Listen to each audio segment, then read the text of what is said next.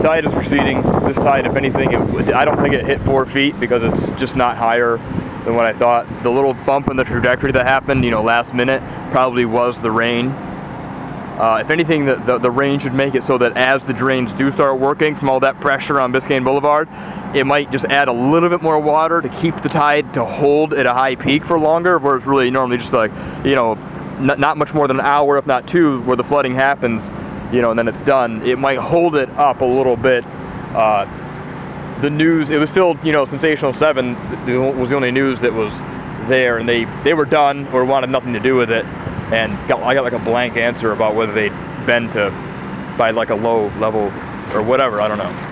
Uh, but anyway, they were done because I, you know, it's Fox, so they do the 10 o'clock news thing. I forget that's nationally, not just some cities.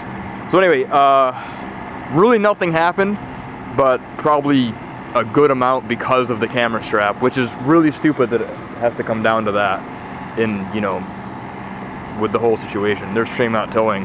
They, you know, there's no debt in their business during the during the tides or the Miami Beach parking.